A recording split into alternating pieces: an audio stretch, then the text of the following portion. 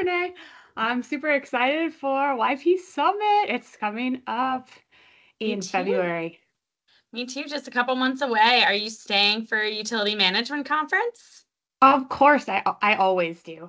Honestly, it's such a great opportunity to get to go to the sessions um, and actually see what's what's trending in the water sector, what the what the big utilities are concerned about and and really what the the next few years are going to look like. I've seen some really amazing sessions there and to just get to talk to some of the the leadership of some of the biggest most forward thinking utilities in the country is is really amazing. So, I love I love UMC. How many times have you been? This is my fourth one, I think. Yeah, cuz like we met at Orlando. Yeah. Um which was my first one. Um, and so yeah, so we've we we've done Orlando and then um, Sacramento, which was an amazing one as well. That's when I first started joining like the planning and and being on marketing committee. Um, and then last year was Portland, which was also just phenomenal. Um, and then yeah, this year in Dallas, super excited. Awesome. Gonna have to get my cowboy hat. Yeah, how about I, I don't know. When was your first one? Which one did you go to first? So I went to my first YP summit in Nashville in 2019, but I didn't stay for utility management conference. Um, but when I was there, a ton of people kept asking me if I was staying for utility management conference, and I got a little bit of FOMO. So then, when the conference started back up after COVID in 2021 in Orlando, I asked to stay. And similar to you, I've been going to UMC every year since. Um, you know, I'm not a utility member, uh, but I have always found that, you know, as a consultant, utility members are my clients. Mm-hmm. And so being able to hear all those presentations and hear, you know, what they're excited about, what, you know, they're stressed about, what's keeping up these utility leaders at night, I found that being able to come back from UMC, kind of bring that to my organization of observations and the connections, obviously, as we've said, um, just makes it so valuable. And especially if you're going for YP Summit already, you're already paying for a flight, which is usually probably the more expensive part of it. You're already there several nights. So it's basically like very nominal additional cost for registration fee and maybe two extra nights. So yeah, seems like I mean, an obvious win-win. The registration ends up being almost the same price. Like you're getting like a nine hundred dollar conference for three hundred bucks. Like you just you just have to. You have to, right? It's a no-brainer even um, even for just like the first couple of days it's uh it's just such a great i don't know i really enjoyed the experience and the the sessions and uh, and the it's definitely the decision makers and the movers and shakers in the industry. I mean the job i have now i got because of um, yp summit and umc in sacramento. I was thinking about a change and I went to one of the hosted events at a bowling alley and I was chatting with two other women who were in the sector about around my age. Um, and they had just come over to start up some new business in North America from the Netherlands. And fast forward a year later, they both changed roles to a new company. And I was like, I, I don't know, I'm thinking about a change. Um, and they called me up and bam, UMC uh, the following year in Portland, first day of my new job. Like it's it just full circle. So I, I don't know. I, this conference as is is really is really something else for for those that type of of really really Connection. core networking. Yeah. Yeah. And I think the size of the conference is great that you know, I feel like sometimes at those huge conferences as maybe a young professional or someone for a first time attendee, you can kind of get a little intimidated with the size you know, going to an ACE for the first time or a WEFTEC. But um, I think the size of this conference is so nice that, you know, no one's going to let you sit on the sidelines. So they're going to pull you into a conversation. It's so easy to meet people. As you said, it really is those movers and shakers in the industries, the utility leaders, the leaders at a lot of the top firms. Um, and the conversations are great. Um, the networking opportunities are great. Um, it's honestly one of my favorite weeks of the year that I always look forward to. I'm so excited. Mm-hmm. Yeah, same. Yeah. And I mean it it does have the technical sessions, but they're less sort of in the weeds, super technical. Um, so it's a lot more accessible. So if you're like interested in understanding other aspects of the of the business of water, of of utility management, of of, of like what's really going on in the sector, it is very accessible content because it's really designed for that that global vision and a little bit less on the you know very very minute details of the science but it is still very very relevant technical information. I agree. It's it's almost like the trends and being able to understand and kind of hear a lot of the trends going on from a way of you don't have to be an expert in that specific topic to be able to take something out of it um, so if you were talking to someone and you needed to give them a couple reasons to go to umc in like a sentence what would you say?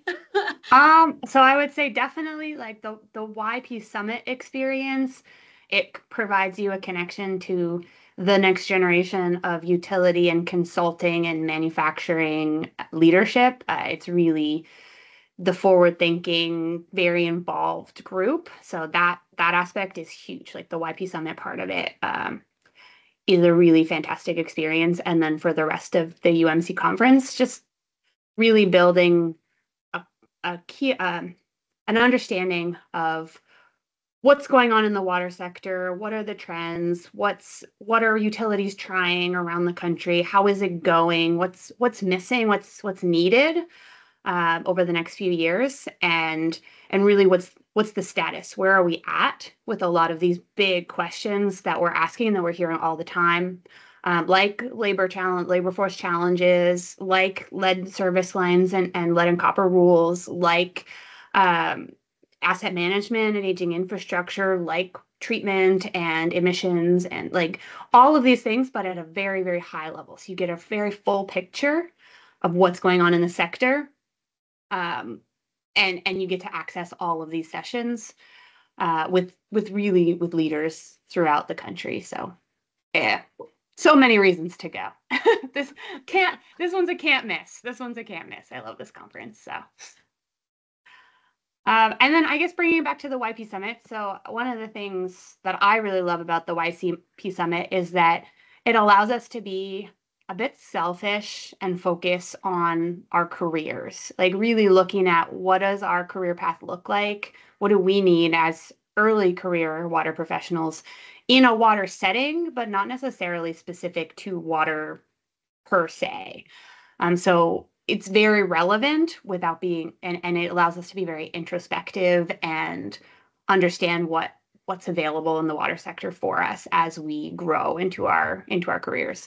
So, what drew you to the YP Summit initially? Yeah, so I originally went to YP Summit in Nashville in 2019 because I had a coworker who went. Um, he went as a representative of our AWWA section at the time. Um, and he just had a great time, a great experience. And he came back um, he was a couple years older than me and was like, look, like you should ask to go. Like it was worth it. You know, we're trying to get a scholarship established for our section for people, but until then, you know, um, my company at the time was really supportive of his attendance. Um, he was like, you know, I'll help you with the pitch to um, our leadership on on attending. So I did that. I went because someone told me it was really worth going, and you know, especially meeting um, other people in the industry of the same age doing similar but different things across the country and especially getting those connections. Um, what I'll say is that some of the people I met at my first YP summit um, are some of my best friends to this day. Um, and whether that's you know people doing similar things to me in the industry, people doing totally different things than me in the industry. Um, you know, they're the people when you're thinking about a challenge, you pick up the phone and you're like, you know, I want your perspective on this. I know you're in a different geographic region, but like, how do you think about this? Or, you know, when you're thinking about whether it's a career change of, you know, getting that lessons learned from others who maybe made a change and, and getting some of that information, what they might have done differently or or what they were excited that they did. Um, and it's really just, you know, the network you build early in your career only helps later. And you know you see some of the folks in the industry who also met you know early on whether it was at a yp summit equivalent or just as yps in a section together. And you see when you're you know 30 years into your career that relationship that you have um, we're all in this industry because we want to make the world a better place um, I think the passion you get in the water industry from the people is just the best. And I think it's why most of us stay here. You know, we're working on very impactful work with people who really care. Um, so that's the reason I went, and that's the reason I keep coming. Um, mm-hmm. The people is just great. Um, I can't imagine working with more inspirational and more motivating people in this industry um, and both YP Summit and staying for Utility Management Conference gets the opportunity to be able to connect with more and more and continue to grow that water network. Yeah, absolutely. Absolutely.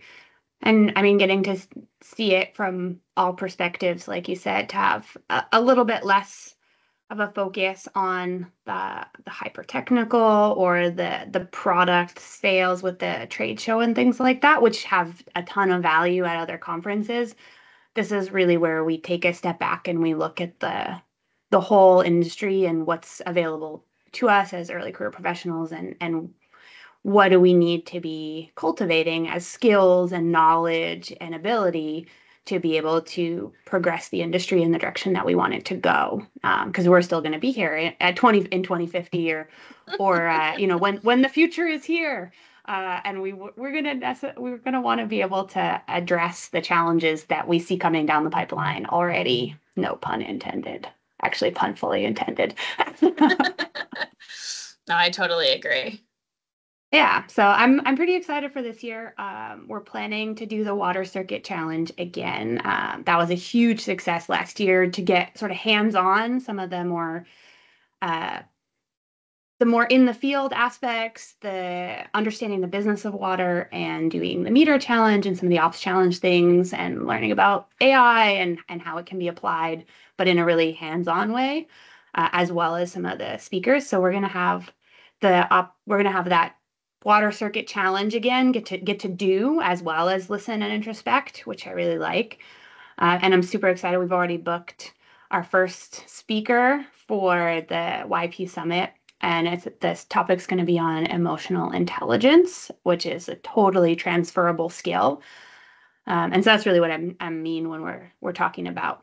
It is it's it's in the context of water so it's very relevant to what we're doing. It's very adapted to this specific industry but it's not really about water. It's really about how do we how do we run the business of utilities? How do we um, help our clients if they're utilities, if we're looking at it from a consultant or a, a manufacturer perspective, you know, really how do we uh, build the industry and ourselves within it.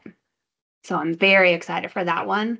Um, and then we have a panel that we're putting together of young professionals who are already in positions of leadership. Uh, so looking down the line, we know that there's going to be this mass retirement, uh, the silver tsunami, as it's been called. and everyone is looking for how are we going to address it. And there are all of them are looking to us as as beginning our careers. And how are we going to address this this challenge in the future? So understanding what early career professionals are doing in positions of leadership already how that experience has been how did they get there? Um, what are the challenges that they face specifically? And how are they adapting and address, addressing this new role that they're finding themselves in um, so so early in their career. So I don't know. I'm I'm very also very excited to just hear from that perspective. Yeah, and last year's summit in uh, Portland was sold out. So um, I know everything's bigger in Texas. So I think we're uh, capping registration at 350 people, but I'm really excited to make 349 new water friends this year, hopefully. Um, mm-hmm. especially with it being in Dallas um, and easy to get to. I'm really hoping that we can get a really good group.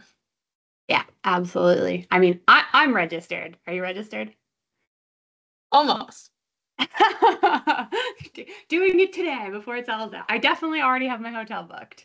I missed that hotel deal the first year and like, oh, definitely not doing that one again.